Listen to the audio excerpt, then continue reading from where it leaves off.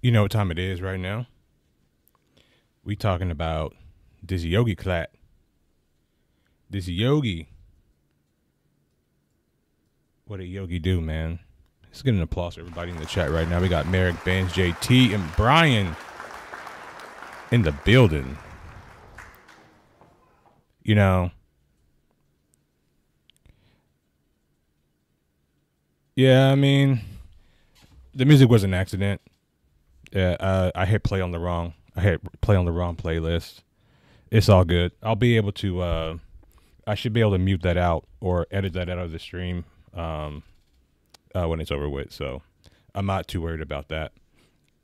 However, you know, the main thing is the main thing, and we got to talk about Yogi.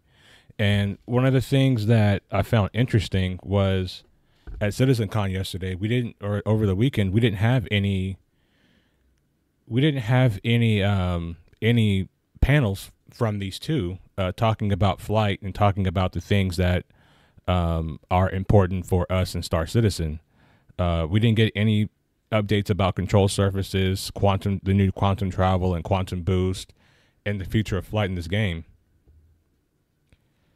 I was ready to pull out the non GHB baby oil. Yeah, you know we can't go wrong with Michael Jackson, bro if anybody hates Michael, you know what I'm saying? Like, you know, there's something wrong with you.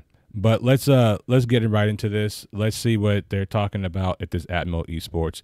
This is not going to be that long of a stream. Um, actually, let me. Uh, I'll probably record this that way I can um, you know, throw it up as a video later on if you know something does happen with my stream. So let me go ahead and hit that record button while we're at it and let's go ahead and like get this thing started. And let's see what Yogi and them, Yogi, Yogi and the boys are talking about. Working closely with basically all people involved in. Oh, we're too far. Your title. Can you talk about that a, a little bit? There we go. Okay, so my title is no, my name is Yogi Klatt. My title is uh, I'm a. Let me know if you guys can hear it. The volume's a little bit low. Let me turn this up. Principal vehicle programmer. I Let me know if you guys can hear it. Can you guys hear it? Okay. Um, working closely Give me some thumbs up if you guys can hear it. People Involved in ship and vehicle vehicle gameplay to make the experience uh, for flight and combat good. Awesome, incredible. What about yourself, uh, Richard? What is your uh, your official title at Cloud Imperium Games? Um, um, yeah, so my, um, so my official title is um, lead game designer. Um, on the Guy doesn't know his freaking title. responsible for the vehicle experience. Um, so I work closely with Yogi, and this is flight balance, tuning, you know, vehicle. Yeah, Michael has a lot of songs that are uh, sleepers that people don't know about, and that's one of them. It's called Heaven Can Wait. This weekend has been Yeah, let me see if I can turn it up a little bit louder for you guys. Give me one second here. I mean, so many things that have been announced, but what has your experience? That's as loud as I can make it. start with you. Any special experiences you've had this weekend at CitizenCon? That's as loud as I can make it, guys. I have volume maxed on all fronts. You know, and that's been the biggest surprise to me is how many people have turned up. yes. You know, there's been so many people coming up to you going, oh, you know, I'd like to Actually, give you I can feedback make it a on little this, bit you know, louder. like talk about this. Is this It's better? just how passionate our fans are. I got it maxed out You know, now. that's the biggest What's going on, is Ken? Welcome to the welcome to the thing thing. Yeah, you know, and just how much they love the game. Love the game. You know, and it's just amazing to see. You know, and you know, I just love those interactions. I mean, there's, I mean, there's so many fans. I'm They're pretty sure pretty when they talking about nothing right now. work Just doing- Cloud they just started Doing introductions. Um, what about your? Well, it's more so Yogi than me, but No, I, I love talking to players, right? No, you Um, don't. You liar. And I think uh, for me personally, as a developer, you're lying, Yogi. Like, uh, my, my yearly dose of big love I get at CitizenCon. yes. Right, because lots of people come to me and like the the the thing you hear from them is very diverse, right? Like we like what you do with a flight model. Can you adjust this or that and so on? And yeah, absolutely. As a as a player, uh, I, I, it's hard for me to pick. The thing is, like, as a developer, you sometimes don't know what actually CitizenCon brings because we something like I, di- I did not have a lot of like insight into. I think it's their stream. Like I have the I- I volume really maxed like, out on Oh, that's YouTube, what we're doing. and I have Nice, my uh, right? I have my volume maxed So, out too. uh, I can't. so I can literally can't make it any louder then- than what it is. it as a player, this all excites me, right? So Yeah. I, I, I, it was a really good show for me. I, That's I loved awesome. it. I'm, I'm, I'm glad. Well, I mean, uh, Yogi, any special moments that you had at CitizenCon this weekend that absolutely like inspired you to continue wanting to develop the project at Cloud Imperium Games? Oh man, standing in front of the Hornet, right? Oh yes. And then that um, was actually cool. I, yeah. I sadly missed all the engine tests. So my wife sent me a video about like like every couple of like I don't know 30 minutes they did this one engine test where everything was like in big lights. I missed that, right? But I heard it along uh, uh, a lot. a lot, yeah. But I missed that. But like just seeing that, it's like yep. Yeah, and then of course seeing uh, squadrons being live played. I know. That was great. Actually, I'm, I'm, I'm not sad at the crash at all, right? Because again, Well, this you know, proves it it's a it's it's, it's Lower an my actual mic. demo, it's actual I it's actual my mic. Gameplay, and of course things sometimes break and so on, right? But we'll, we'll fix them. Is It's- that it's Is that a than great. little bit vertical lower slice? now? It's actually the It gameplay is. now. It is. yes. Yeah. It, and it is how it looks. There was nothing fake in there. That's that was. Uh, I mean, I was watching it while we were sitting up here, and I was Guys, like we got 17 people ear. I watching couldn't right now. Everybody hit Oh, that yeah, like kind button. of you know hinting of 2026 as well. Oh right. man. You mean when you when your cheeks hurt from Y- like yes, yes. right? uh, Yeah. uh, so Richard, how about, how about yourself? Any special moments at CitizenCon that really truly inspired you to continue working on the development of Star Citizen? Yes. Um, yeah. So um, it just comes down to how passionate Chris is about the project. Yeah. You know, because he because you know you can hear it in his Try voice when he speaks about the game that he really cares about level. it. I need to go you know, and that lower. goes all the way down. You know, right down for everyone in the company. Yeah. You know, and, and that just inspires us to make down? the best game possible. Yeah. It- you know, because that's all we're trying to do. Up or down? Is we're trying to just make the best game we can. Yep. I mean, I mean, I think this year at CitizenCon 2954, you guys absolutely. I mean, just the the team in general, man. It, uh, you guys absolutely killed it, and uh, I can't wait. I, I obviously I'm gonna go watch it probably four or five times back home. So hey, just for you guys at home, remember that CitizenCon 2954, all those panels are still already live on YouTube. So make sure you go check them out. If you missed anything at CitizenCon, please go watch it because uh, you definitely missed out on some incredible up announcement this past weekend. So, well, we're going to be talking here a little a little bit about competitive events, right? So, before we jump into the questions, any competitive events that you guys like to watch that the community throws, and I'll start with you, Richard. Yeah. So I'm a big fan of the Daymar Rally. So obviously it's the big one. Yes. It, you know, and it starts the year. You know, The and it's just Rally. really impressive it's seeing like. the teamwork in those events. You know, and that's what really I impresses me is just the teamwork. But I also the, it. it's the size of the event. You know, Yeah. because because I think I, because I, I think I first came across you guys when you came to Manchester in 2019. I think it was. Yes, yes, yeah. Yeah, back then, you know, and I was back in the Daymar Rally, you know, uh, and it, it's just amazing just seeing Mic up. the level of event that you can put on. Pop, Yep. You know, and it's also driven us to try and improve the game in those areas as well. Well, we're now? always trying to break your Can you hear servers. me now? so Sound like the old Verizon commercial. so that we always back at the team team work, and It's funny because uh, when we started Daymar, I think our biggest one we had, which was last year, 14 different servers. So it was it was It was a big one. Yeah, but I mean server meshing hopefully around the Yeah. corner. We're gonna hopefully break some more, but. We love that you guys are able to get the data that you guys need for us to hopefully continue pushing these events to the next level. So, same question to you, uh, Yogi. Any events that Okay, good. any events that you like watching? I, I I know you mentioned playing a lot, so I mean do- it's okay do- if you don't I watch. do play a lot. Yes. I, I'm, I'm not the biggest fan of watching Twitch streams myself. He's got a um, very short attention span, so you have to. Okay, yeah, I'm okay, like, that a, makes like a monkey, yeah. right? but but no, like uh, of course I heard about the Daymar Rally and the other things that happen. I mean, uh, just just hearing what other people, how they coordinate in the verse to get things like that done is so breathtaking.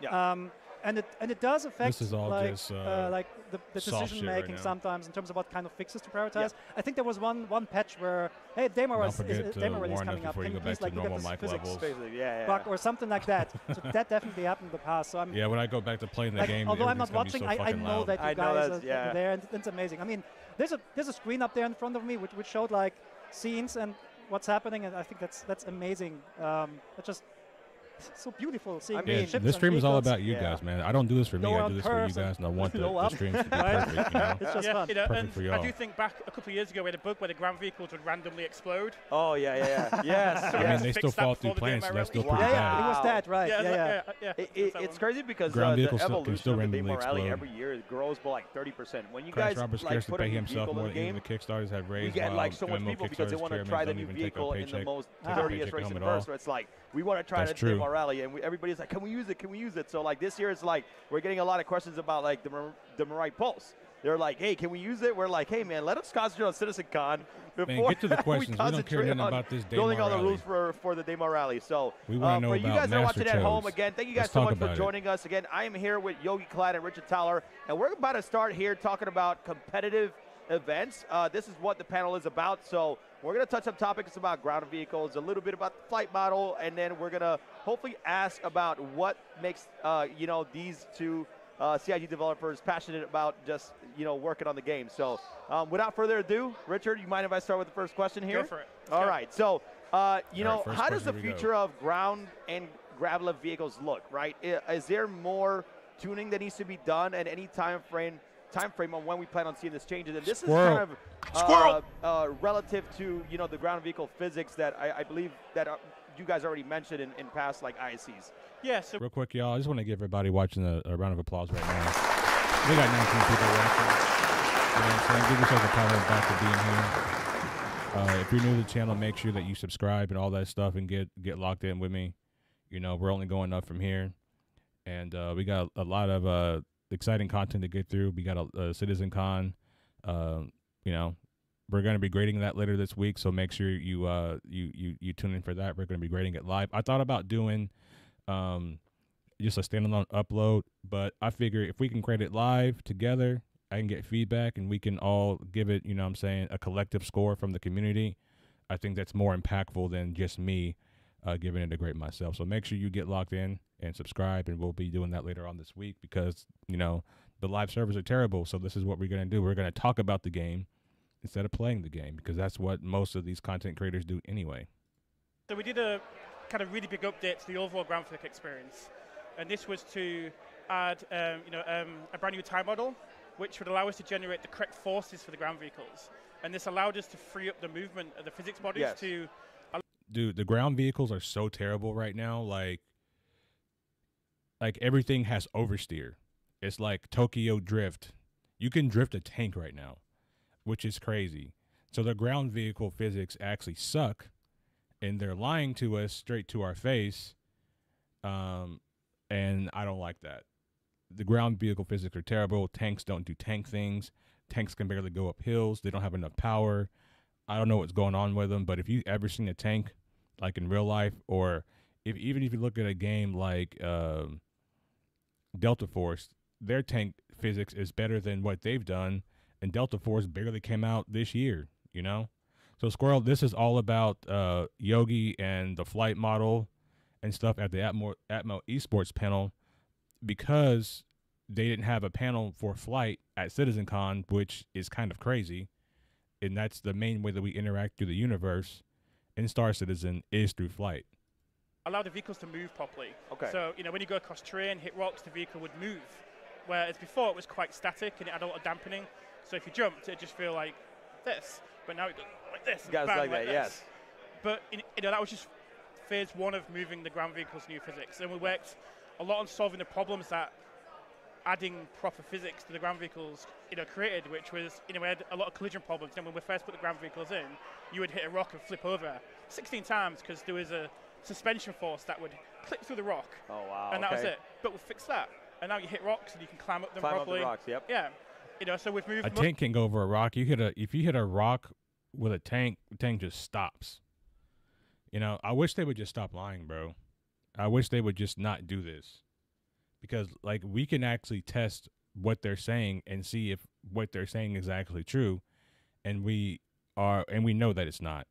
Like we know that it's not. They are such liars. And these two guys really really make me upset.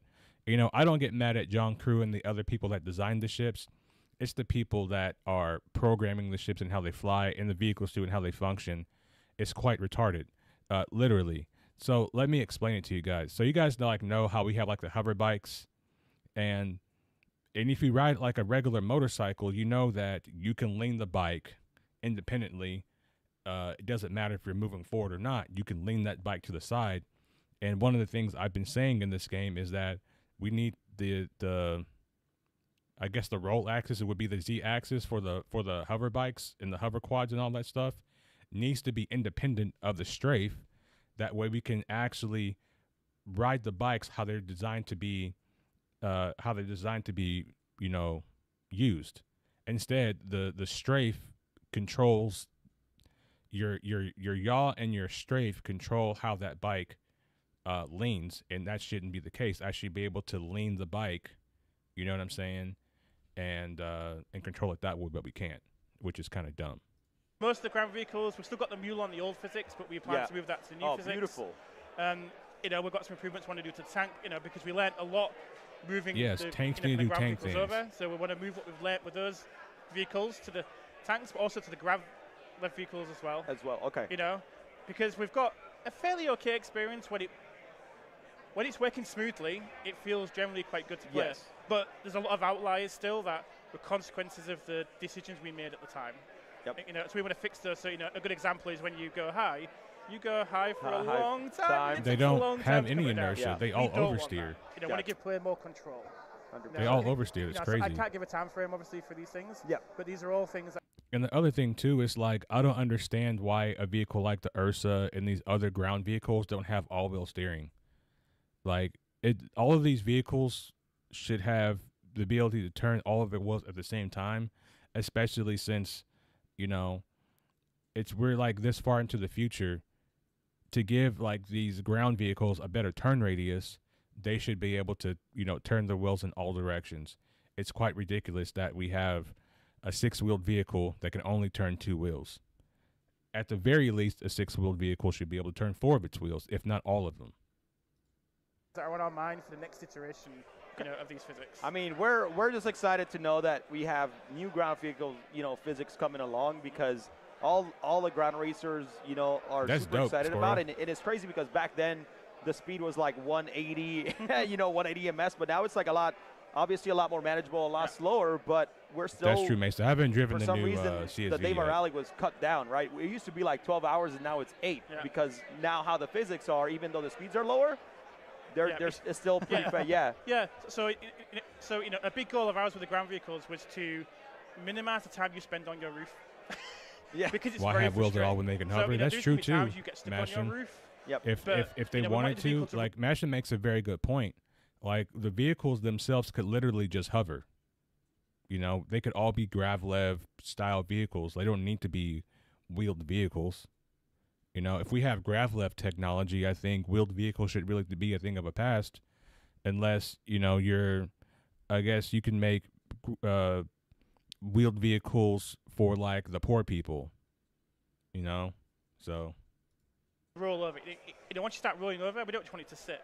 You know, Yeah. want, we want physics to take over and do a really nice roll, so you can end back on wheels and keep that momentum going. Yep. 100 So- Yeah, the new the new hum, the new uh, Hummer EV can literally crab walk. Like this is what I'm saying. It's like they don't look at the world we currently live in and say like, oh dang, like these vehicles can do all of these crazy things.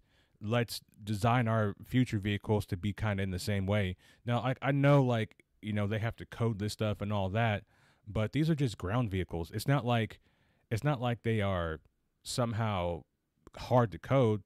You know, even if you wanted to make them hover, that would actually be better. You know, Masha makes a good point. That would actually be better for the game to have everything just fucking hover. Having wheeled vehicles, especially like when you're doing exploration and- you're going to these places that have like these unknown and crazy looking terrains, if you just had a, a a vehicle that could hover over everything, that'd be infinitely better.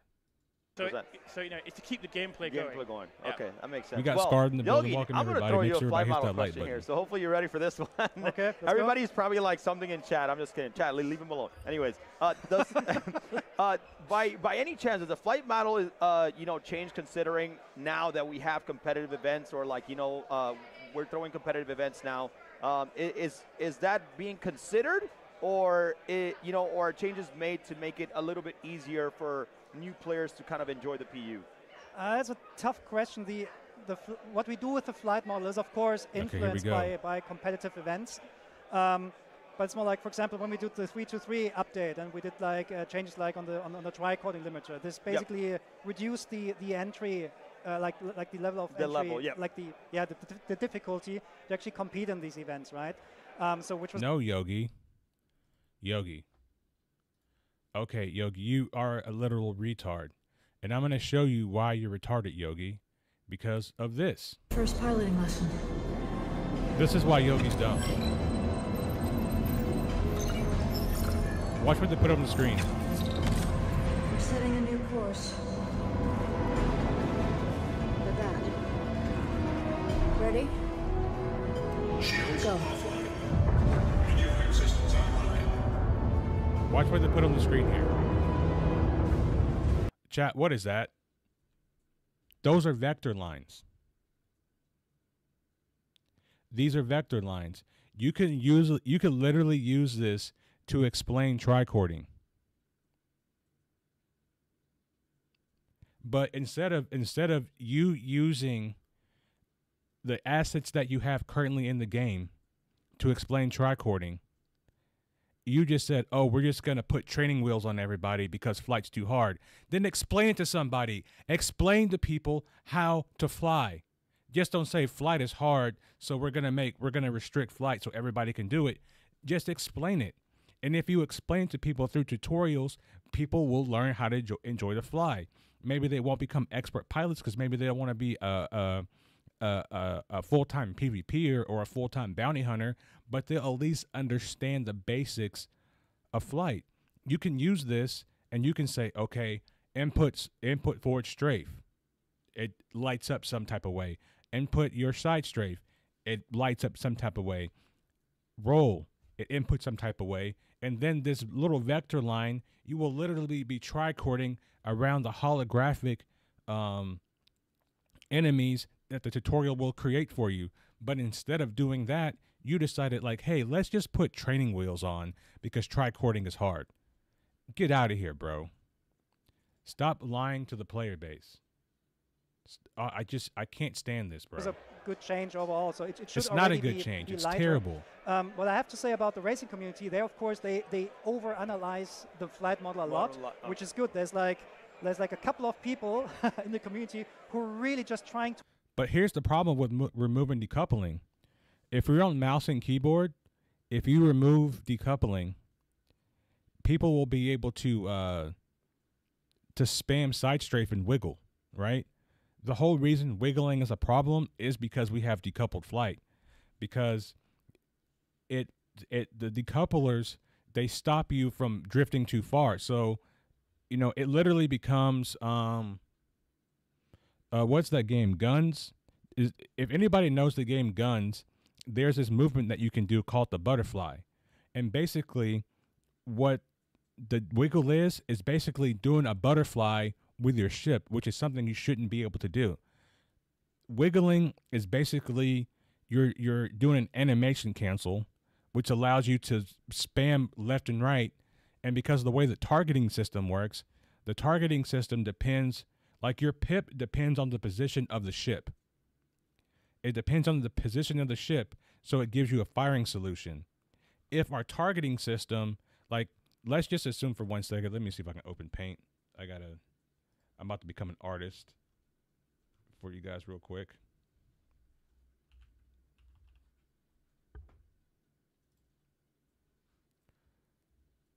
Oh, God. Um, let me see if I can make this bigger let's just say this is your crosshair, right? And this is a bad example of a crosshair. And let's just say this triangle is your ship, right? When you're fighting, your my firing solution should not depend on where this ship is. It should depend on the direction that my ship is moving. So if I'm moving in this direction, my firing solution should be here, right? That should be my firing solution. And that firing solution depends on how I'm moving my ship and not how not how this guy is moving his ship back and forth. Like he can wiggle, he can do the back and forth thing all he wants, right? But as long as I keep my position correct, it doesn't matter where he's where he's spamming his left and right. My shots will always land in that same position, right? And that's a very rudimentary, elementary example of it, but that's the gist of like what I'm trying to say.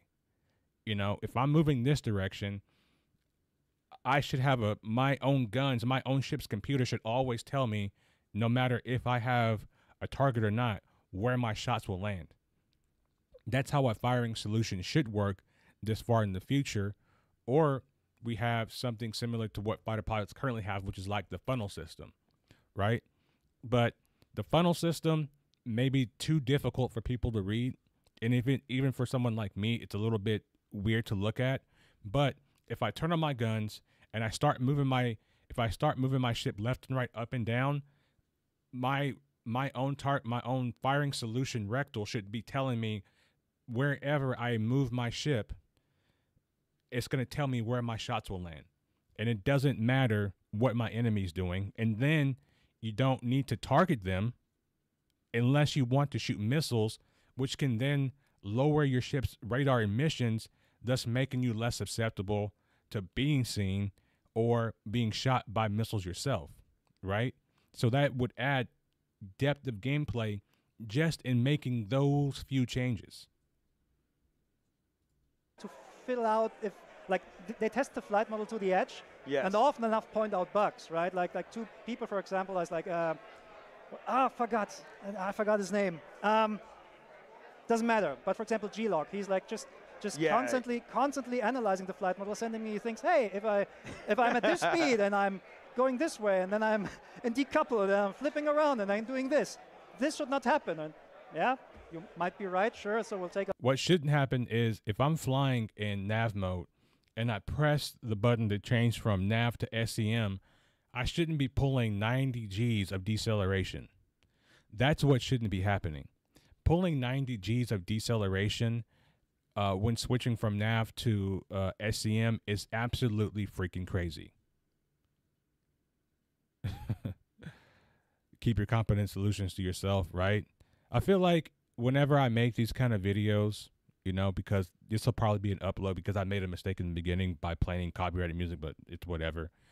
Um, but when I make these videos, people come at me and, and and talk to me like I don't know what I'm talking about, not knowing that I have 13 years of military experience. And I, when I was on the ship, I used to shoot the Mark Twos. So I think I know what I'm talking about, or the Mark 22s. I, I know what I'm talking about when I'm talking about firing solution. at, at the very least, because we don't shoot at. uh, It's very rare, like we're actually shooting, shooting, sitting still, look, uh, shooting at a target, even in training, right? Yeah, the space brake is really dumb.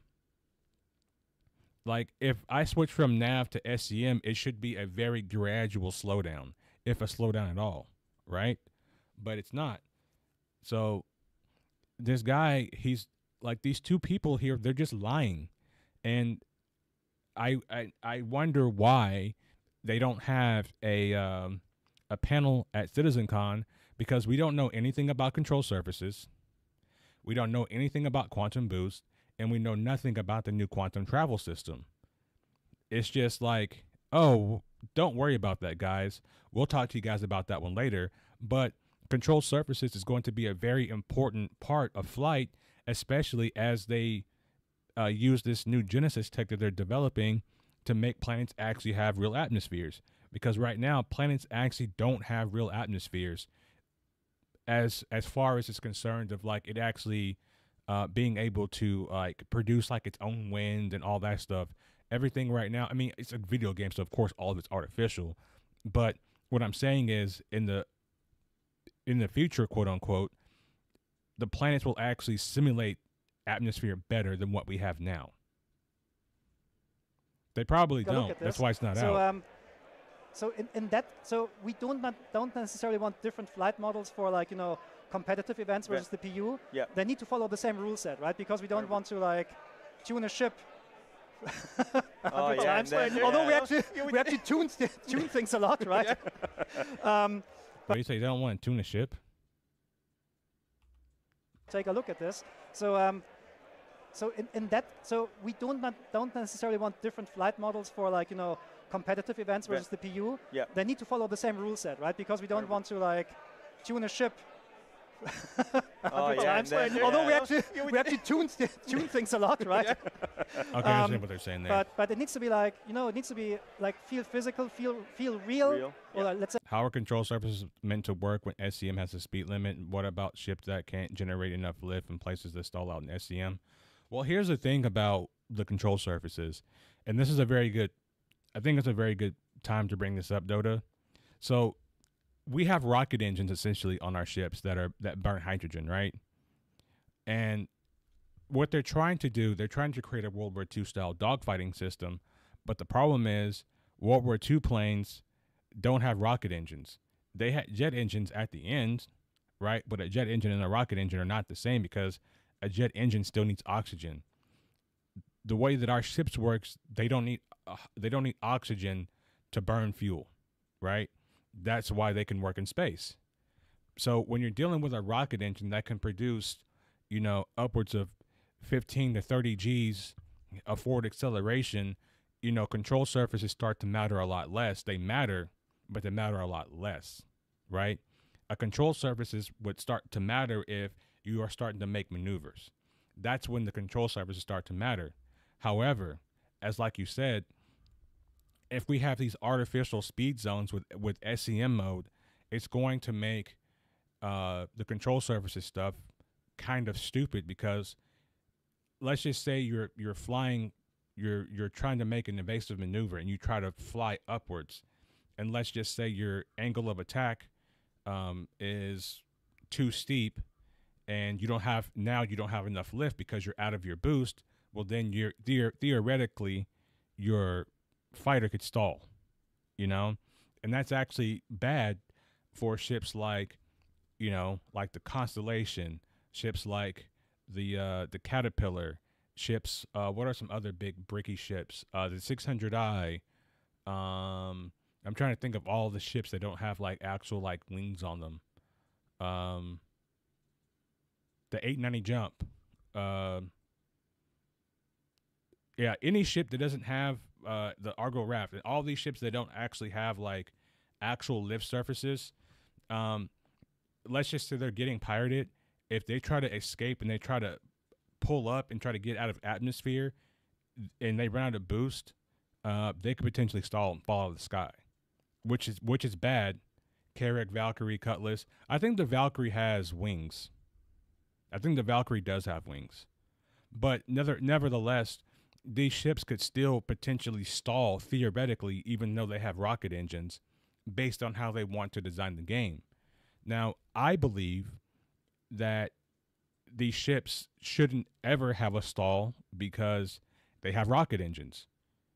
And they're they should be able to burn enough boost to get to a point to where they can jump on any on any surf on any, on any planet these these rocket engines should have enough boost to get you out of atmosphere. Because th- theoretically that's what you want. You want to get out of atmosphere as fast as possible so you need to use your afterburner to do it. I don't think the wings on the star lancer max count as lift. They probably don't. But winglets that's why i didn't that's why you know that's that's true. Um those aren't like real lift services right they contradict their own plan for realism all the time just embrace the rocket booster magic and have fun exactly exactly and to be fair you know so they advertised the Peregrine as like it having holes and cutouts in the wing so it can maneuver better. Well, guess what big ship has holes and cutouts to help it maneuver? The Hercules. It has big giant holes so the airflow can go through it.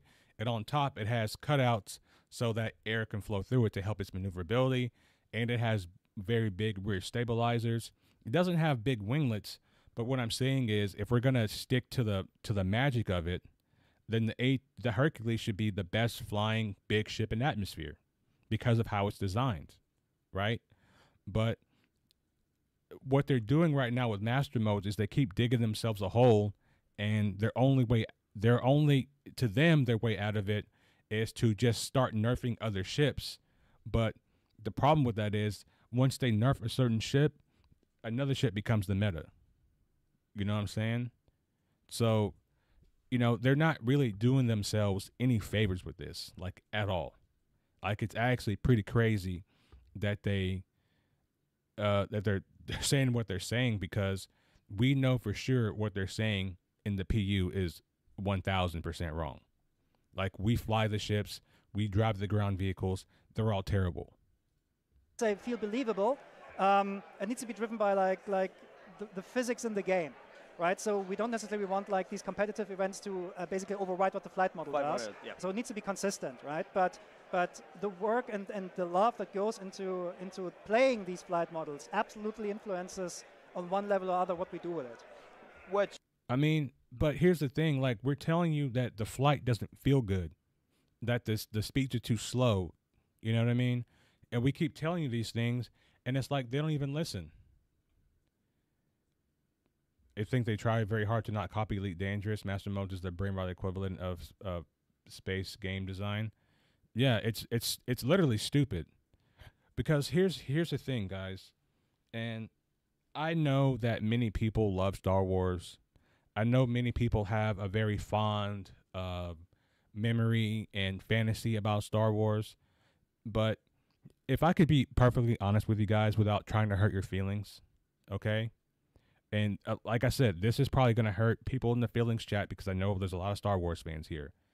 However, the flight model in Star Wars is retarded, especially the the earlier the first movies that came out like in the 70s or whatever. The flight model is retarded. Um, but the flight model that they used in Star Wars is the only flight model that they could have used because of the technology at the time because they actually had to use real props and green screens and and and models to make the flight model happen. You know what I mean? So they could only do uh, a an airplane style flight model. If you know it was different and they had better technology at that time, and we actually had you know a lot of knowledge about maneuvering thrusters and things like that, I think the flight model would would would, would be very different. However, I don't think a World War II style Star Wars flight model in space makes any sense because of the fact there is no there's no air resistance in space that you have to account for. The only thing that you really need to account for is your uh, is the available boost that your ship can produce in its own mass. Those are the only things that you need to really account for. And if a, if a ship has less mass, right? If a ship has less mass, then it should be more maneuverable. That's just physics, right? And especially if it has maneuvering thrusters. Less mass, more maneuvering thrusters, a lot of boost more, equals more maneuverability. But what they've done is they've made certain ships not fly well. Um, and I will I will continue to beat this dead horse home until we see change because I'm fighting, right? I'm fighting for us to have a flight model that makes sense in a game that will stand the test of time. But if we continue with the flight model that we currently have, we're not gonna we're not even gonna get close to that, right? Let me zoom this back out. All right, so guys, um, I've brought this up a few times already. This is the F8, right? Now look at its flight stats, right? Right here. This is its flight stats, okay? Because I, I know there's new people in here. New people probably haven't seen this. Again, this is 3.24.2 live, by the way. So this is the F8, the most advanced warfighter the Navy currently has. These are its stats, right? These are the stats for the Cutlass Black. The Cutlass Black has better flight characteristics, even though it's a bigger ship than the F than the uh, than the F8. It's almost double the size of the F8, but yet it it's better. It's faster in a straight line. It has faster boost. It has a slightly higher top speed, and it has better turn rates than the F8. But this guy, this guy right here just said we want it to be realistic and to make sense. Well, how can it be realistic and make sense if this ship is better than this ship? The Cutlass Black should not have better flight characteristics than the F8. Now, the F8 can still win in a fight because it has more guns, right? It has more guns, so it can it, ha- it can out DPS it. But this ship should not fly better than this ship. It just shouldn't. It just should not. It would be fun to fly to be able to fly atmospheric flight and atmosphere and space flight in space instead of making them all the same slot. Yeah. Like guys, I'm not here saying that I think that uh, we should be able to trichord an atmosphere, right? I think trichording an atmosphere should be severely limited because of the atmosphere. But in space, we should have a complete six degrees of freedom flight model. That's what we should have in space. I'm all for making atmospheric flight more atmospheric. It's a great idea, like Babel said, but they're just tr- they're just trying to make it all the same, and it doesn't feel good anywhere.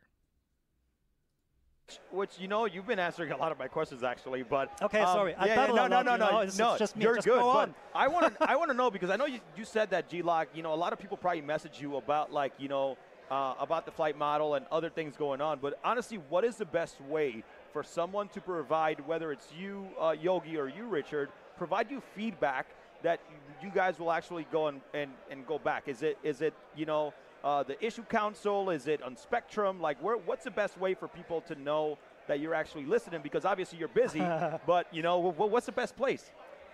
So um, for uh, so you see, we're, we're we're always listening. We're Yeah. not always replying, right? Yeah, of course. Um, so what what doesn't work well for us is if it's just if you do if, if you have like a channel in, in Discord and you know we devs are on there, Yep. you can write stuff in there, but the chance that we actually see it is not that high. I'm in a lot of Discords. Yes. Um, if you have feedback, be concise, be precise. Uh, 100%. and try to Videos, and, yep. and like don't write a white paper about like uh, flight mechanics in space because like these these tend to become really long. Yeah. yeah. You don't need to write a, a white paper about flight mechanics in space. Yogi, you can literally ask ChatGPT to help you out with this. you know what I mean? You could literally ask ChatGPT, like, how does six off work in space? It'll tell you. I've asked ChatGPT this just to make sure that I'm not going fucking crazy. You could literally ask ChatGPT these questions, right? You could literally ask ChatGPT these questions, it'll tell you. You know what I'm saying? Oh my God. You could, oh my, Just tell don't us listen to anybody. what you what you feel is wrong, right? And then put this in a spectrum thread, and then Yogi, we've been telling you for a year. When did Master Modes hit the hit the Arena Commander for testing? Master Modes hit Arena Commander for testing around this time last year. We've been telling you for a year, Yogi. It's been a year. We've been telling you for a year that this is not good. You guys don't listen. You guys come back and tell us that the feedback has been good, and we know that it's not, based on what we read on Spectrum, based on what people are seeing on YouTube, based on the conversations that we're having amongst ourselves on and offline. We're telling you, we're literally telling you, Yogi, that the flight model is not good and you're not listening, and that is the problem. So if you're not listening, people are not going to be kind when they are not being heard. We are not your friends, we are customers. And we are reviewing your product that we are telling you literally that it's ass, Yogi. We're telling you your product is ass and you're not even listening because we're being mean. We've been telling you this for a year.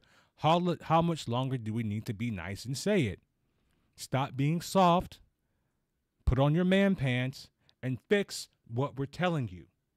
That's all you got to do. if you're really a nice person, please be nice, right? We're Because not being nice helps, like, anymore, adjusting, Yogi. like, if you- Get if over you- it. If, if you basically cut away all the unnecessary wording and just be on point and precise, Yeah, it's, yeah, it's, the, 100%. it's easier for us to We were on point and precise a year ago. We were on point and precise one year ago when we were telling you that this stuff is not good. But you guys didn't listen. So, how much longer should we continue to be nice? to, to process then, right? So uh, some of the stuff will be get read by, uh, read by us. We have a whole like the player experience team. They Correct. they're constantly you know uh, skimming, and the community management team as well. They're constantly skimming like Reddit and Spectrum. Yeah, I had the same ICs issue with so the uh, speed limit. And um, so And you can't and disable it usually in the they, they filter anymore. out the feedback first. Of course. Yes. And they and they, and they um, because like if sometimes you have 30 threads wanting the same thing, right? And then they send basically us, hey, this is what the uh, what the what the community says, and that we have like weekly at least two meetings, which is which is just about you know flight experience and what we're gonna Yeah. do with it, and exchanging feedback, and some things like we can relatively quickly put into change into list change, and then okay. and then put it in. Um, although it's no guarantee. So you're saying, can I, the the you had a speed limiter bug to where you try to set your speed limiter? Oh yeah, that is true because when we were playing the other day, your speed limiter was stuck. That is true. Sorry, but listen to a small group of people that doesn't represent the majority of the player base. I 100% agree with a lot of Master Mode's hater. I'm glad he had used and listen to them. Well, Billy, you're a fucking shill. I don't know what to tell you, Billy. And if you don't like what the fuck we're saying, then get the fuck out the chat. You don't have to be here. And we're not a small ma- majority. The problem is what happens is is anytime we say anything negative about master modes, it gets removed to feedback, which is aka the graveyard on Spectrum. So any negative feedback goes there and it never gets seen or heard from again. They literally had to take master mode feedback uh, threads down on Spectrum because all of the negative comments that were there, they had to close them.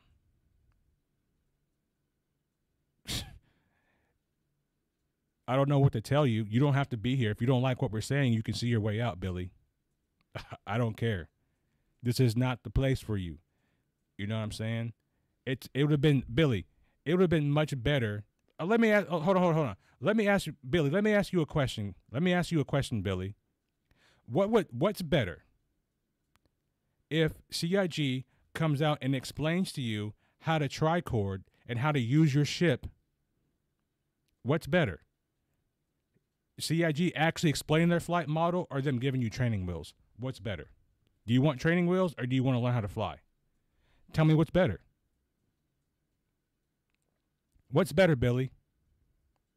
Since since you know everything, since it's so great, you tell me what's better. Actually learning how to use the get the ships in game or getting training wheels. Because it sounds like Billy needs training wheels. Sounds like Billy needs training wheels. That's what it sounds like to me. You need training wheels, Billy? Put your man pants on and learn how to fly. You know what I'm saying? And and I'm not saying that uh, we need to go to a Discord and get in with this group and learn how to fly. No, the game should explain it to you. I started playing this game in 3.16.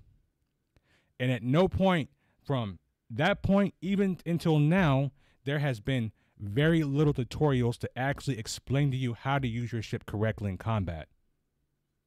Billy, it's been 12 fucking years. It's been 12 fucking years and there's no flight model. And Billy, guess what? They didn't tell us any fucking thing about control surfaces at CitizenCon. We don't know. We have no idea. you know what I'm saying? They cannot tune our balance based on incomplete flight systems. Then why the fuck is it in the game if it's not complete? You can't have Billy. You can't have it both ways. You can't sit here and tell me like we don't have a flight model and say it's not incomplete because they don't have the the final uh, flight systems in. They didn't tell us anything about the final flight systems at CitizenCon. I was stayed up all night trying to wait for them to talk about control surfaces, and they literally said nothing about it.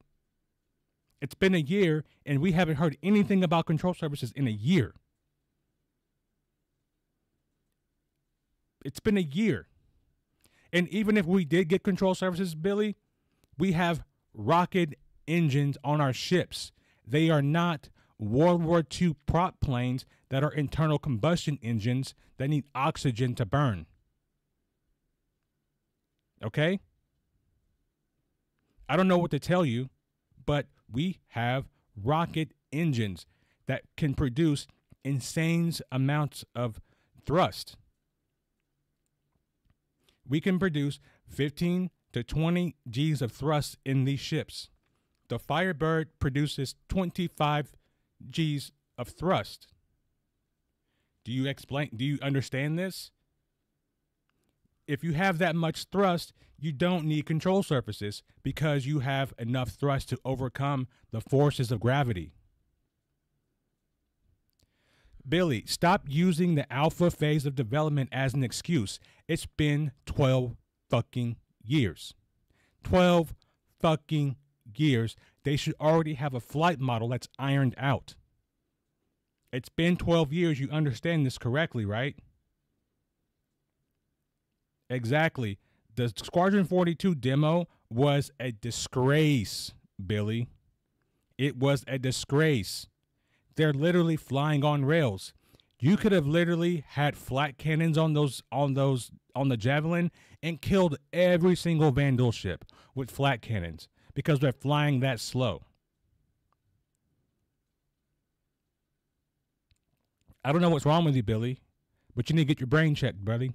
You need to get your brain checked. Flight model will happen in 2.0, right, Julian?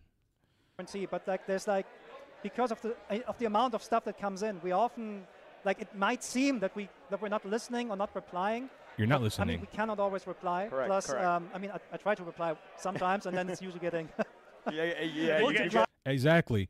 Dota. Dota says flight is a central pillar of the game as a whole. It should be the most completed part of the game to date. Exactly. It should be the first thing they ironed out because your ships is the way that you interact with the universe. Fortnite is still in alpha and it's been out just as long. Alpha time isn't relevant based on phase of development. Alpha means foundational tech is being developed. But the flight is not a foundational part of the tech. The foundational part of the tech is server meshing. That's the foundational part of the tech, not flying. And alpha is just an excuse. It is an excuse. We are not playing fucking Fortnite. I don't know what to tell you, Billy. Star Citizen is not Fortnite. They're not the same game. They're not even in the same fucking engine. They're, it's not the same thing. Because you know what, Billy? In this chat, you know what you are? You're the minority that is sucking the dick of CIG for master modes, and you need to stop. It's very unbecoming. Whole thread, and then you gotta stop, and then you know. Yeah, yeah, and sometimes it's like slightly misconstructed what I said, right? And, Yeah. and this happens. Sometimes I'm also just wrong. This can also happen. Um, but I mean, these are like the, the dominant platforms. So the best, the best platform are uh, Spectrum and, uh, and and issue councils. And also, like, don't misinterpret uh, when we sometimes close tickets from the issue council. It doesn't mean that we're saying this is not an issue. Yeah. It might just mean we have already solved Saw it in it. a later release. Yep. Right, but we won't maybe not solve it for whatever three two three two uh, three two four query two, right? Um, so yeah. Yeah, that was kind of my main my Am I still demonetized? No, I'm not demonetized anymore. I got my chips back. They've had several flight models. At one point, I remember they're hovering like a, a Harrier atmosphere, and it was harder to fly, but it felt good. Not sure what happened to it. I wasn't here for that flight model. I'm a logistics player, loop without a loop, and I know salvagers believe that the flight model is very, very wrong. It is. Also, if you're not a PvP, congrats to Master Mode's enabling trolls and griefers, and nobody, nobody who likes PvE or PvP likes Master Modes. Only GrieferNet is benefiting because my main point, right? the, re- the reason I know, the reason you, know, you listen the reason why master modes is bad because master modes doesn't give you skill the only thing you need to be successful in master modes is dps and numbers if you can bring enough people in uh, with master modes you're more than likely going to win those fights more than likely so that is that is the reason why master modes is not good for the game it doesn't it doesn't bring player skill. You can reach a very high skill ceiling in a short amount of time. Flight is not a foundational part of the tech. His bro, his bro guy just said that in the previous breath. The foundational in all interaction in the universe. Yet he does not require tech, even though it's the background for most all gameplay loops. Exactly. Exactly. Listen, I am fifty-one percent PVE or PvP and 49% PvE. E. Okay? And I'm not at the top of the skill ceiling of PV- PvP. Anybody that's watching my channel long enough will tell you that. But I understand that this current flight model is not good for the future of the game. So let's just play a game here, right? Let's just let's just assume let's just assume that they make no other changes to master modes and it's released in 1.0, right? Let's just assume that. And we have all the org stuff and all that stuff, right? The way the game is currently going, the biggest orgs are going to dominate this game based on numbers because of master modes. Because all an org needs to do is show up with 100 people somewhere and just wipe the place clean. So you're going to have one or two options join a really big org and be miserable, or be on your own or in a small group and suffer and not be able to do anything because the bigger orgs are gonna are going to always come in and dominate you. And that is the thing that we don't need in this game. We need skill expression in combat. And right now, there is no skill expression in combat when it comes to master modes. It just doesn't exist. They're busy working on the game, so we just want to let people know that they are listening. They are checking. Are you kidding me? Me and two org mates went head to head with 11 pilots from an enemy org less than three weeks ago. They all went down, and none of us did. They all had a comp, and they were all accomplished pilots. We were just better. I don't believe that. I don't believe that. I, I don't believe it. You're gonna have to post a video of that because if you did that, then that would put you in the in higher than the top one percent of pilots. I don't believe that. checking out your stuff. We are. Whatever the issues are, whether it's on Spectrum or issue, no one's asking you to explain how game development works. No one's asking you to do that, Billy. What we're telling you is there is a game mechanic in the game that's not fun and people are not enjoying it. That's what we're telling you. And you're just sitting here saying, nuh uh, nuh uh, nuh uh. And William, just because you can, just because you was so easily accomplish that, that doesn't mean the rest of the player base will be able to. If an org shows up with a hundred players and a hundred fighters, and you have a group of just five or six guys, you're not gonna win that fight. You're not gonna win that fight, especially if you guys are just trying to carve out a little section of the game for you. You're not gonna win that fight. I'm sorry. council, hey, just be patient, give him some time. I'm pretty sure, you know, they are like like Yogi said, they are listening. So And Rich- engineering is hard. It takes time. yes, it is. Well, Richard, I'm gonna throw it to you real quick because I, I want to talk about ground vehicles uh, one more time. And ground vehicles right now feel a little bit neglected in Arena Commander. Obviously, ship racing got some, you know, got some incredible courses in Arena Commander. Do we plan on seeing any ground vehicle tracks come to Arena Commander? My org is extremely competitive. They're not. They're mostly Army veterans. That doesn't mean anything. I'm a Navy veteran. So what does that mean? Okay, you being a military veteran doesn't mean that you're automatically going to be good at the game. I'm not. In, uh, I'm not just a gamer. There are there is still an extreme skill ceiling, but you're not invincible anymore. You were never invincible to begin with. All that I'm saying is, is right now the skill expression is not very high. It doesn't like what I'm saying, William. Is it doesn't take long to become a really good pilot in this game. It only takes a couple of months to become really, really good.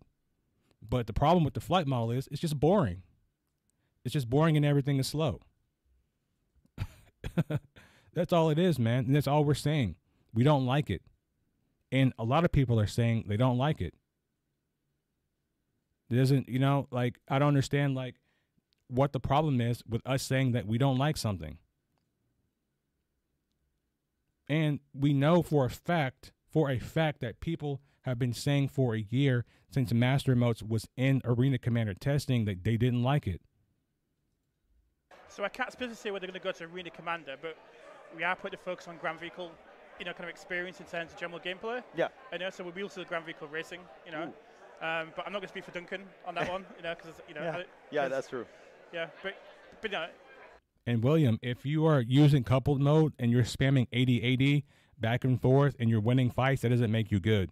That just means you're just exploiting the flight mechanics in, in coupled mode. you know, racing is a big part of what I like as well. That's so all that means. definitely something, you know, we talk about it on a regular basis and we push for. But uh, it's just about priorities. At the end of the day, you know, we've got to move certain things forward first before we can do other things. Um, but you know, yeah, you know, it's definitely going you know, to be an, um, an option moving forward for us. Okay, sounds sounds great. And and obviously for ground vehicles, you know, a, a lot of ground vehicles have these different components. Julian, that's exactly right. What I'm doing here, uh, Julian, and I hope that everybody listening, and please hit the like button, guys. You know, I'm gonna give you guys a round of applause real quick. To everybody in the chat right now, I'm gonna give you guys a big round of applause. I'm gonna give you guys a big round of applause because you guys are here in the chat rock with me while we're um, uh, you know, while we're doing this, you know, while we're doing this reaction. Now, and I would appreciate if everybody hit the subscribe button, join the channel if you if you feel so inclined, become a member because what I'm doing here, guys, I'm fighting for a better game for us all. I'm not fighting for a better game for me. Like I said, I am a 51% PvE player. That means the majority of my time I spend doing PvE combat. Okay? And anybody in my chat will tell you that if they've been here long enough, they've been watching me stream this game for the past couple of years, they will tell you that I am a mostly PvE player. However,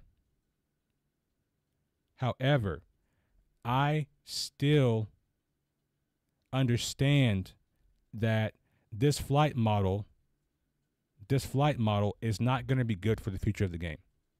And I am going to beat this horse. No animal cruelty, Peter. No animal cruelty, Peter. But I'm going to fight this with everything that I have until we get meaningful changes in the game. They need to bring trichording back. I'm sorry, but trichording is the future of combat. Eventually, when we get into space and we have a spacefaring country and a spacefaring world, that is going to be the future of combat. If we ever get to a, a position like that, we're going to be making crazy maneuvers in space using maps. That's going to be the future. You know what I'm saying? Don't take my word for it. Ask ChatGPT. It'll tell you. Yes, you can use maps for trichording. You can you can add these movements together. It's normal. It's physics based. Spamming, the, doing the wiggle is not combat. You know what I'm saying? The wiggle is not good at combat. I despise the wiggle. You know what I'm saying? So I'm not advocating for uh, the light fighter meta. I'm advocating for a flight model that makes sense. That's what I'm advocating for. Is is and I will never stop fighting. Something that is is you know that you guys are thinking about to put in ground vehicles. Yes. Okay. Yep. So, so, yep. So we're going to move the ground vehicle experience, what we consider to be the ship experience. So you know we've got ships with components that use fuel, um, and then we're going to have that same experience for the ground vehicles, where you know they've got to have an engine and you know they also use fuel as well. So you know, and then the components you can put on those you know ground vehicles also will matter as well, but in but in different ways compared to ships. So Okay, yeah. okay. Yeah, but well also like I mean like um, if you if you if you watch the the stuff that Torsten always uh, talks about in ISCs or at CitizenCon and so on, this goes also in this way. Later also with crafting, right? You will be able be to able to, yep. to craft components which are which you can tune dedicated for racing and so on, and they will of course have an have an effect. I can't tell you how much of an effect, Fact. right? because it's there's always like a question. Hmm, do we make this? How much of like a performance advantage? So William, I'm gonna ask you the same thing I asked. I'm gonna I, I ask Billy. William, do you know what this is right here on the screen? You you saw this, right? You saw these vector lines, William. How much better would the game be right now, William, if they would have used these vector lines right here to explain trichording to people? How much better would the game be if everybody understood the basics of flight combat? They don't have to be advanced pilots, but if everyone knew how to trichord, that raises the skill floor without lowering the skill ceiling Master Modes does both. It lowers the skill ceiling and raises the skill floor, and it squishes us all in together. And there's not enough elbow room for everybody down here, man. We got to spread it out. Pause, but we have to spread it out.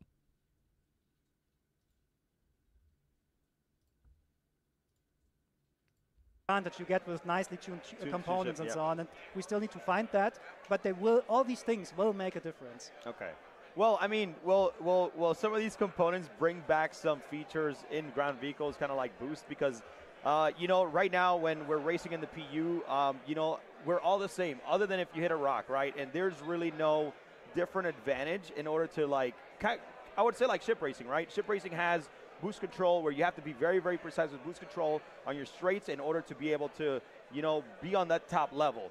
What about ground racing? Do are, are we seeing a little bit of that? So I so I do get a JIRA about the boost being missing from the ground yes. quite often. so, I, so it will be going back in at some point, I'd imagine. Do you want to explain what the JIRA is? Oh, it's. I don't like the boost system. Um, uh, I understand why they why they want to put it in the ground vehicles, but mm, I don't get it. I don't get it. I understand like they want it for racing and things like that, but like this boost mechanic just it just makes me feel like I'm playing Need for Speed or something like that. But uh, I I'm not a big fan of the boost mechanic. I just I'm not. I think that we should have proper uh, we should have proper energy management that if you want to go fast, you need to take the power out of something else to go fast. That's what I'm a fan of. Just having an infinite boost button that you could just infinitely pull, you know, with with with really no consequence other than wasting more fuel, to me doesn't make a whole lot of sense. Basically, a task. Yeah, task management too. Yeah. Yeah, yeah. Yeah, I. I know what Jira is. yeah, yeah. I know what it is. All developers out there, oh, I had no, Yeah. please Oh no. no! As soon as it goes in, you're like, "Come on." No, don't talk about Jira, please. But, uh, Well. I, I'm pretty sure a lot of people are going to be happy about the boost because, like, everybody's like, "Man, this the Cyclone RC feels weird right now." You know, having that Uh, boost. yeah. Well, it was just a consequence of moving to new physics and new Yeah, heat based boost makes sense if you're think- thinking about like turbochargers and stuff like that. But I don't think they have turbochargers. I think I don't know what engines power these these these vehicles. I thought they were all electric, but apparently they're going to add some some type of battery or some type of uh, energy system which can be depleted. new physics. That is It- true. Like it just didn't have a boost feature, you know, and we didn't have the time to Time, re- yeah. yeah, in, you know, to re-put that feature back in. But it will be something, you know. Awesome. Love future. love to hear it. So, uh, going a little bit back to you know to ship weapons and kind of like the flight model a little bit here, Yogi. Yeah. Um, you know, we know that ship weapons all have their purposes, right? Yeah. Um, and I I know that during you guys do a lot of testing during a lot of patches. Yeah. Are we going to see a full weapon balance on any of on, on the on the weapons currently that are in game? soon. Uh, so, um, I'm sorry. To TM. So, when it's done. No. Yeah. Um, so uh, one of Torsten's team members, like Bastien, he did a really, really nice retuning of all the weapons. Wow. And Okay. um, he included all the, you know, all the stuff that's coming up soon with like, because weapons are components, which means they have different grades and they have different purposes and different modifiers. And like, um, from our ex- like from our um, work before, we could not really go into the depth because we had other things to do. But but Bastien really put in the time to actually uh, get a consistent and yeah, a, a very consistent uh, tuning of these weapons. Okay. And um, this will come hopefully online with the with the full resource network release uh, Oh, in wow. 4.0. Awesome. Awesome. I know you guys. So here's a big problem with weapons, right? Here's a big problem with weapons. The issue with weapons is even if I have like okay, like the the the, the Mark II Hornet, right? The Mark II Hornet has two size four weapons, right? The Hammerhead also has size four weapons. The problem is is that that Hornet has the same weapon range as the Hammerhead, and it shouldn't. Okay, that Hornet because it has a smaller power plant than the hammerhead its power the the maximum range that that that that wep- that that weapon system could shoot on that on that hornet should only be around a thousand meters that should be like its upper limit if it put all of its power into the if it took all of its power segments and put it into weapons it should only have about a thousand meters of range right the problem is that's not how it is the problem is I can I can kite that hammerhead at two kilometers because my size four weapons are the same range as those size four weapons. Light fighters and and ships with with smaller power plants should have to get close to fight bigger ships. And what that does is it allows the bigger ships to have uh, weapon ranges that and velocities that can reach fighters. Now, on the flip side of that, you can't do that without giving the light fighters movement to be able to avoid getting shot, i.e., trichording. Okay?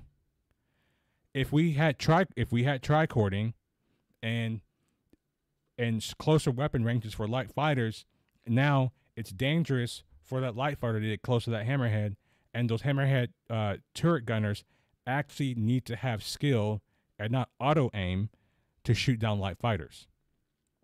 That would be the best case scenario for all people involved. Okay? But we don't have that.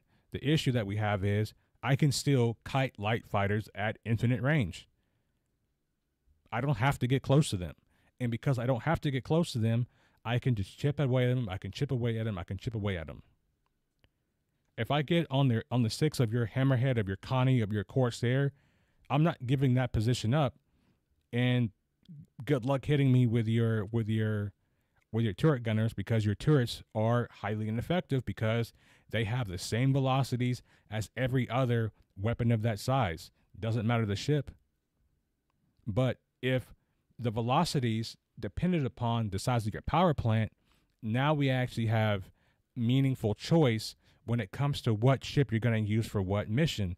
That even means someone like me who does 51% PvE, that means I can really no longer take a light fighter in to something like uh, ERT Bounty because those bigger ships can hit me at range. So I need to corkscrew my way in and to avoid being shot.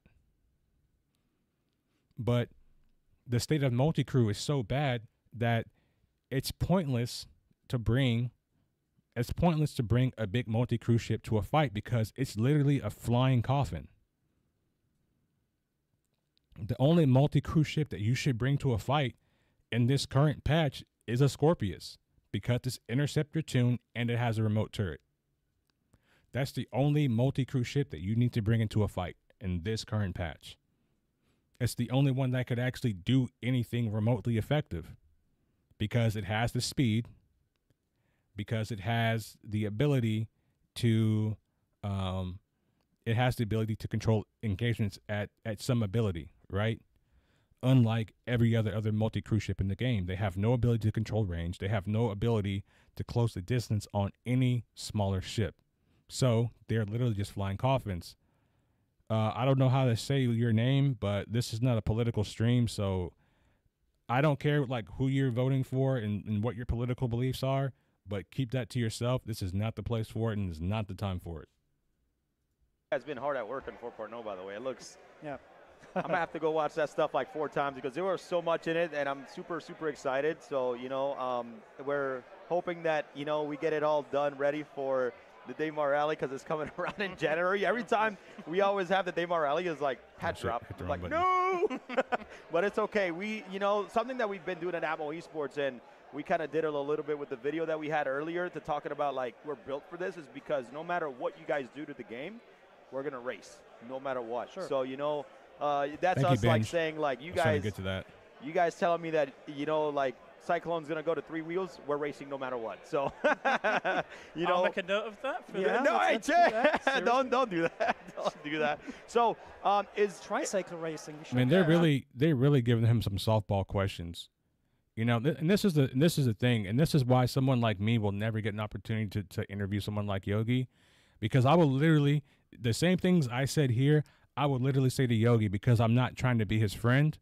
I'm a customer that's reviewing a product that's giving a company feedback on their product and telling them that their current product is not good and where they need to improve it. Like I'm not gonna I'm not gonna softball it. I'm not gonna be like, hey Yogi, let's be friends and I can get ships from CIG. I will never do that because one, I have integrity. Number two, I'm not trying to be friends with CIG. Number three, I'm a paying customer. Right?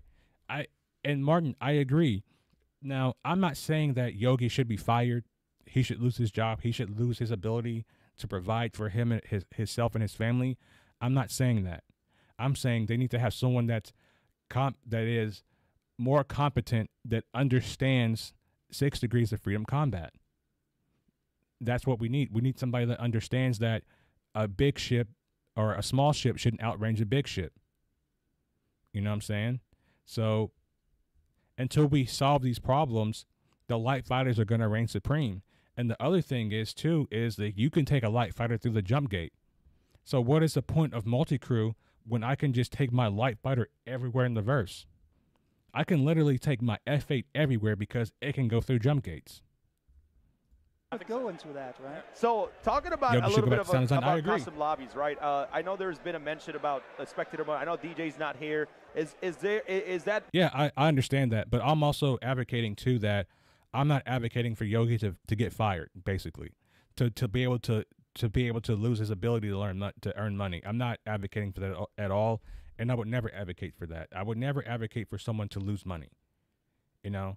But he should be in a department where his skills and knowledge uh, can be more effective. And right now, him being the flight model guy is not where he needs to be. Like, I don't know who needs to tell him that. I don't know who needs to tell Chris that, but that's not where he needs to be. I'm sorry. You know what I mean?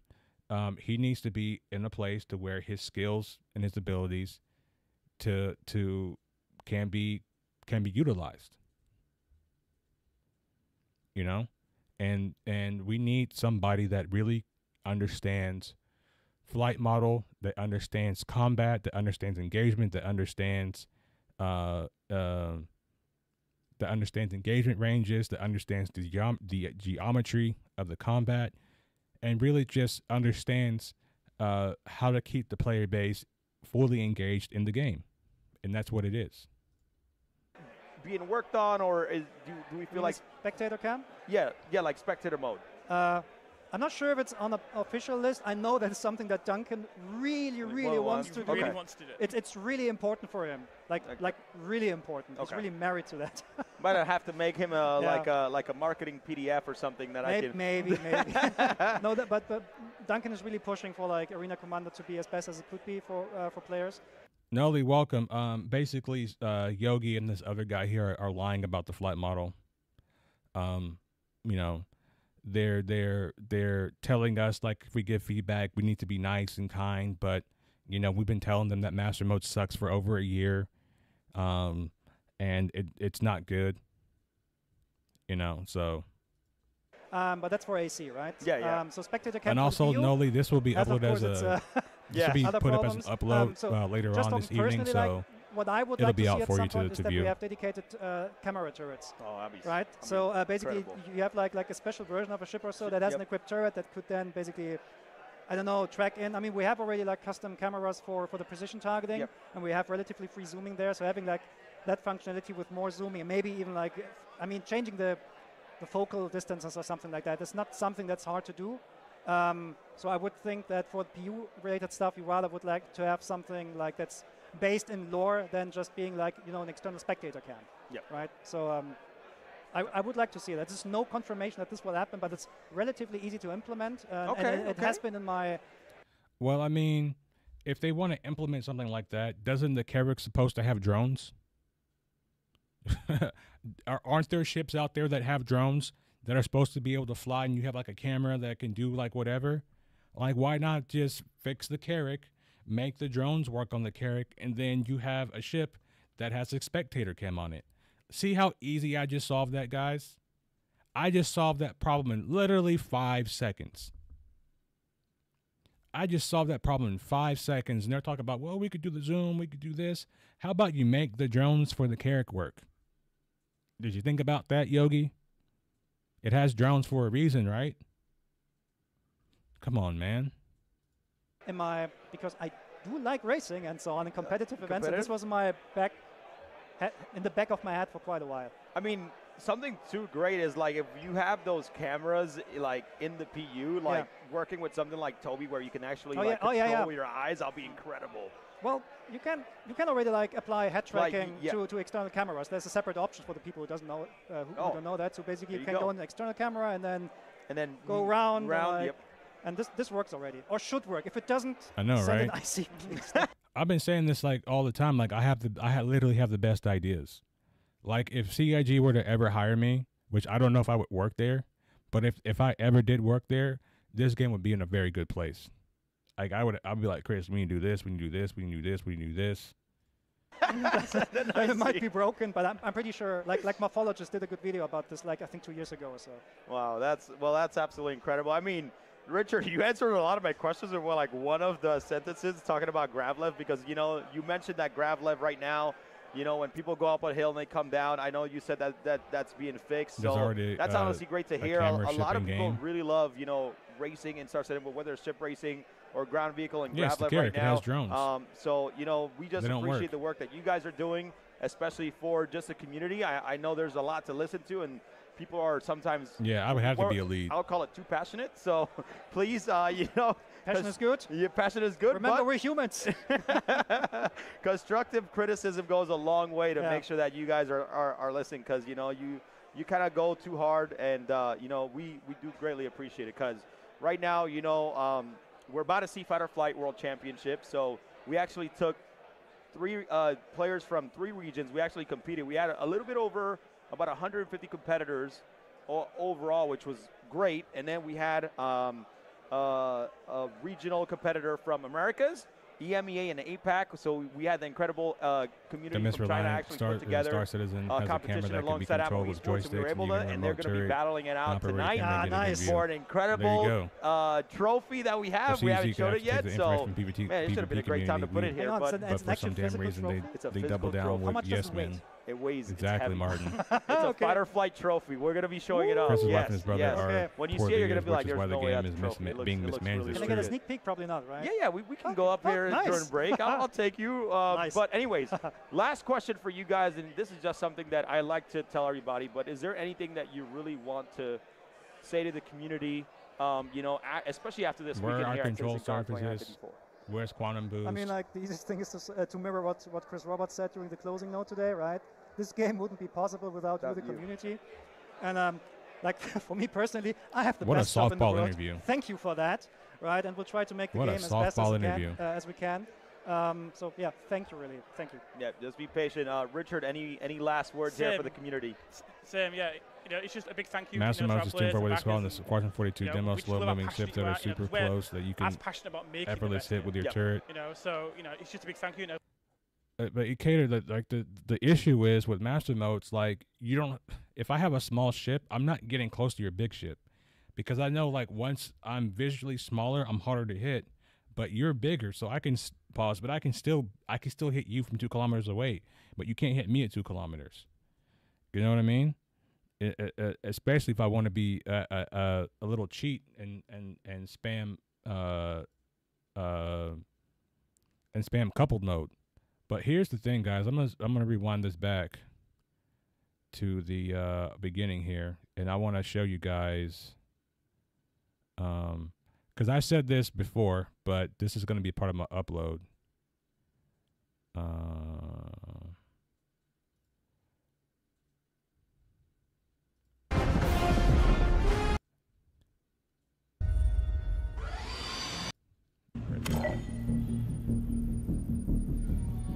Atmo, you guys need to unblock me, right? Unblock my boy. I don't know how the hell Goofy uses this thing with those settings. So I'm just gonna do a full reset so you can get operational. Just follow the on-screen instructions for the All right. calibration program. Stand by. We'll start with tracking. Since we're out here hunting a Vanduul clan, I'll load up one of their ships for you to follow. All right, so here we see, right, they have holographs, right?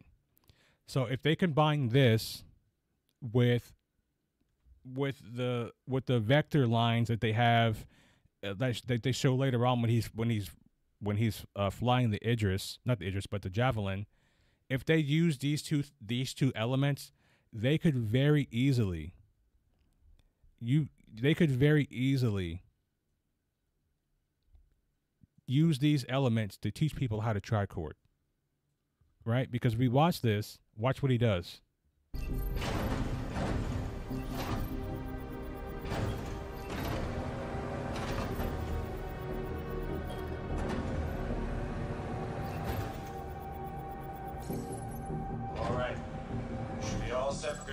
Turret. Next up, we'll test your firing mechanics. The system projects simulated rounds, so don't worry about friendly fire. They're using simulated rounds and they're using holographs. Right? Holograms, I mean. And over here,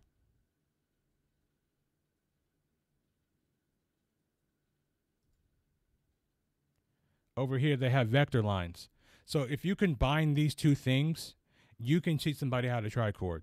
Because here's how you make the tutorial. You can say, okay, you've been out of the the UE Navy for however how many long time, and uh, here's a flight refresher course for the CDF, and you basically go through the same thing they just went through, and and you learn how to trichord and fly. Or they could teach you the shit in Squadron 42, but I don't think not everybody's going to play Squadron 42. So you have the tutorial in both games.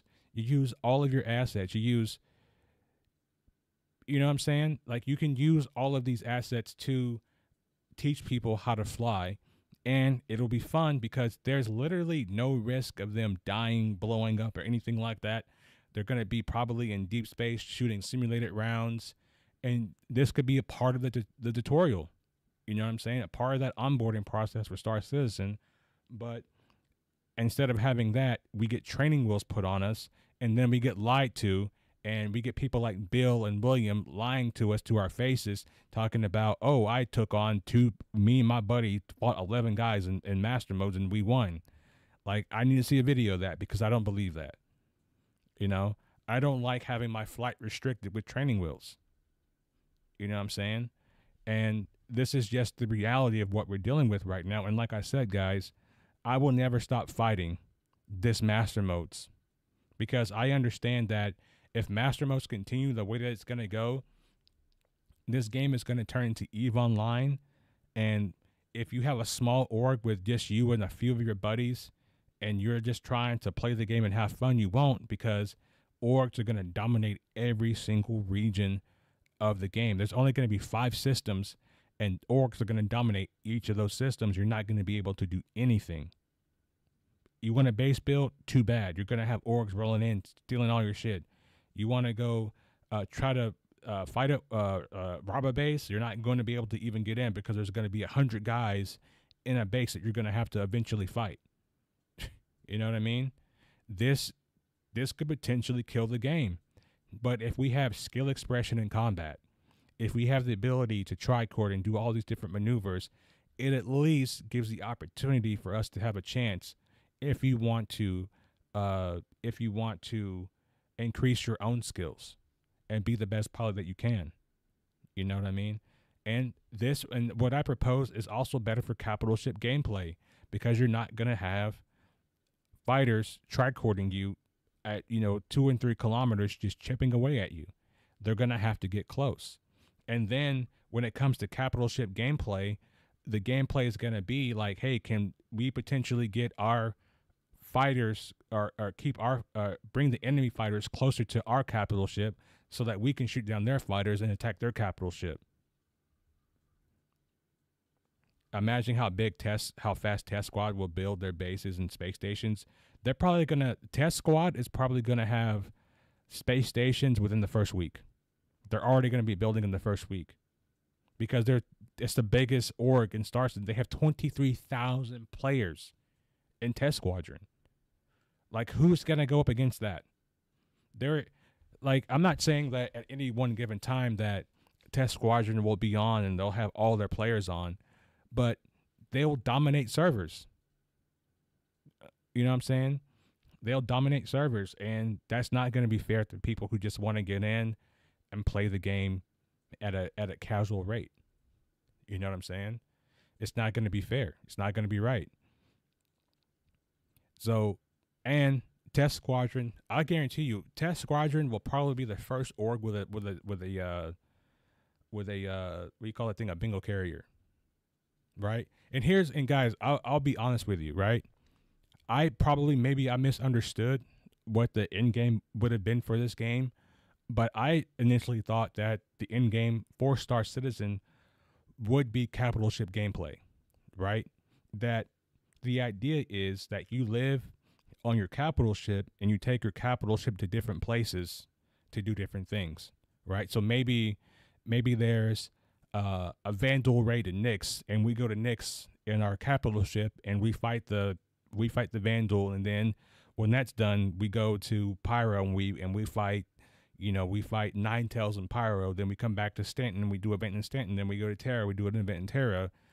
But that's what I thought the end game of Star Citizen would be with people in orgs living aboard capital ships and not having space stations because while I understand the need for space stations and things like that, for me, the perfect end game for for for, for me would be if we had capital ships that we had to bring resources to to keep operational. Like we had to bring you know we like they have some type of reactors instead of like having rocket engines they have maybe they have uh, fusion reactors right?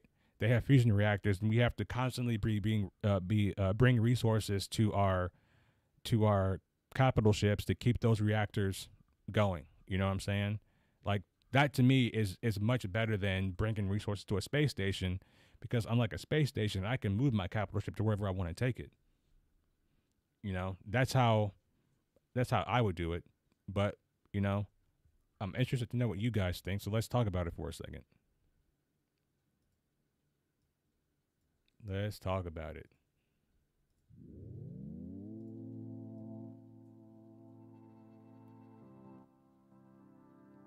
Let's talk about it. You know, let me go to the uh the, to the day two stuff.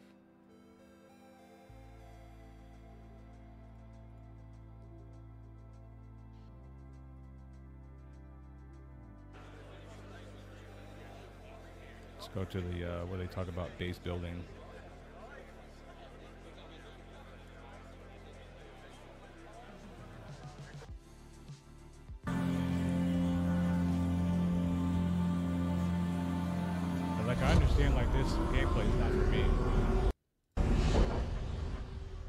Like me personally, I I don't have the time that where I want to sit around for weeks building a base.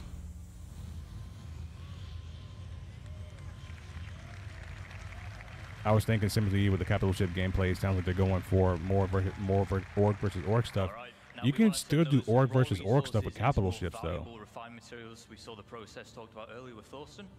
Of course, we want this. It is our refinery. Once again, there are multiple types here. This one is the large solid matter refinery. We have liquid and gas again, as well as biological, depending on the type of materials that you're using and want to produce. Refinery has input and output grids for input, as you might expect. That's what us industrial guys are for. consume, Yeah. And then the output Like I understand, like, but uh, so here's the thing, guys. I'm not into base building, so I'm not gonna knock it.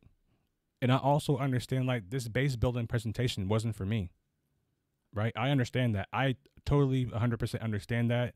I'll be the guy that'll be going to these bases and either buying resources or stealing them, depending on what mood I'm in. Right?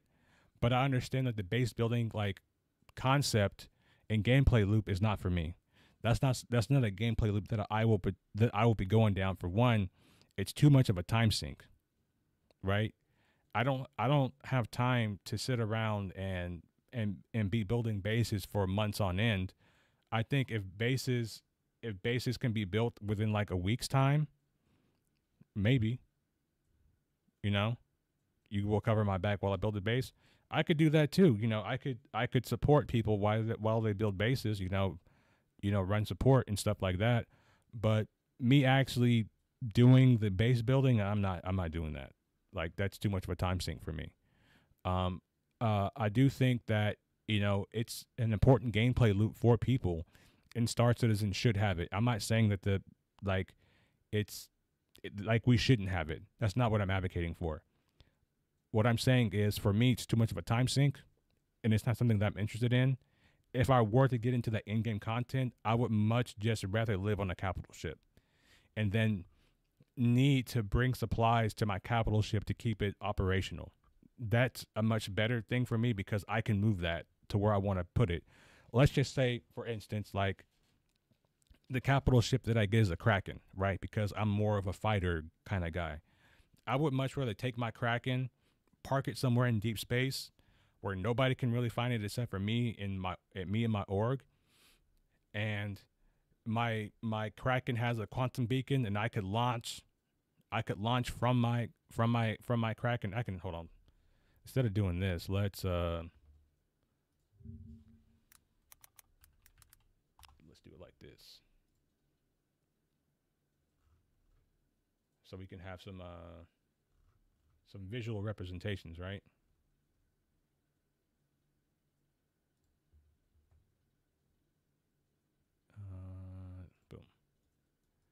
Should I free cam now?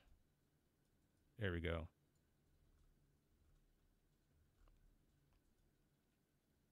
All right, here's my Kraken. Right?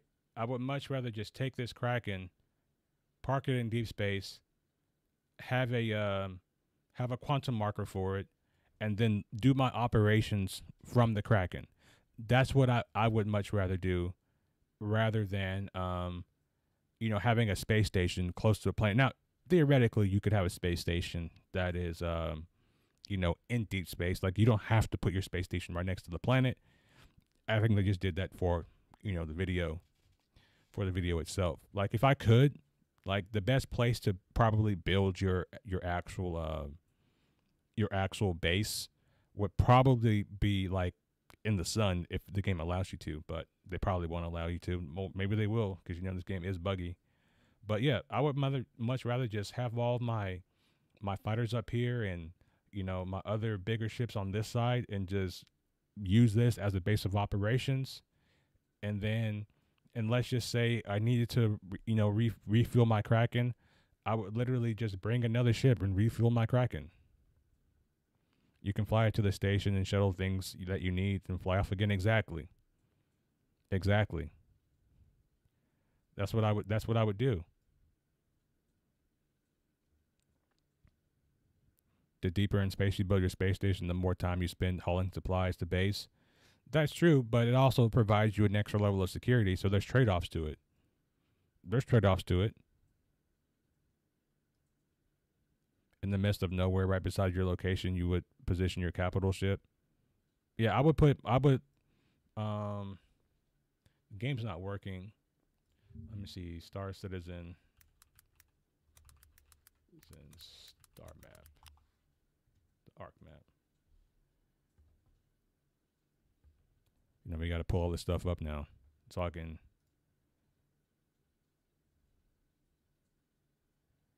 Uh, where the hell is Stanton? Uh, I'm gonna go 2D because it's gonna be easier for me to see. Uh, jump tunnels. Put all of them on. Uh, there's Odin. There's Nyx, Pyro, Stanton. Here we are. I'll just use Stanton for an example. Like in Stanton, I would just literally have like my capital ship just out here somewhere. I just park it out here or here, maybe somewhere here, and I would just do my operations from these areas instead of like parking my capital ship like next to Hurston where it can easily be found. I'd just be out here somewhere. Once you build a base in game, you become married to the game and the base. Yeah, like I don't you know what I'm saying? Scar I don't I don't I'm not ready for that type of commitment. You know what I'm saying? But if I can park my capital ship in space and, and log on and log off on my capital ship where where my where all of my ships currently are, then that to me is is much better than um that to me is is much better than being married to a space station to where it's just sitting here around this planet the entire time. Out in the belt goes around the system. Yeah, the uh this belt right here. I don't think I can zoom in on it, but you're talking about out here. Out here could work too. But yeah, I just said like an area like this just as, an example. But yeah, you can you can you can hide your capital ship like out in this area, or you could even build a station out in this area because uh, there's a lot of resources that you can mine in areas like this. You know what I'm saying? So that's how I would do it. But you know, I just use the Kraken as an example because it's probably going to be the uh, for anyone who is more of like a uh, a fighter pilot that wants to do like bounty hunting and stuff like that. For me, the Carrack is like a good in, in game for me. But another ship that I do want to add to my fleet, which is going to be probably be my, my next biggest ship, is the Perseus.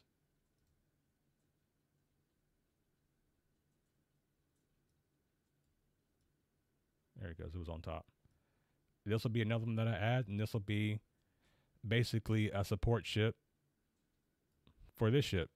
You know what I'm saying? So, yeah, that's pretty much all I got for you guys today. Um, I will be uploading this as a uh, as a as a standalone video as well. Um, just a short stream today. I really wanted to come out here and react to that with you guys. And dude, I have to give you guys another shout out.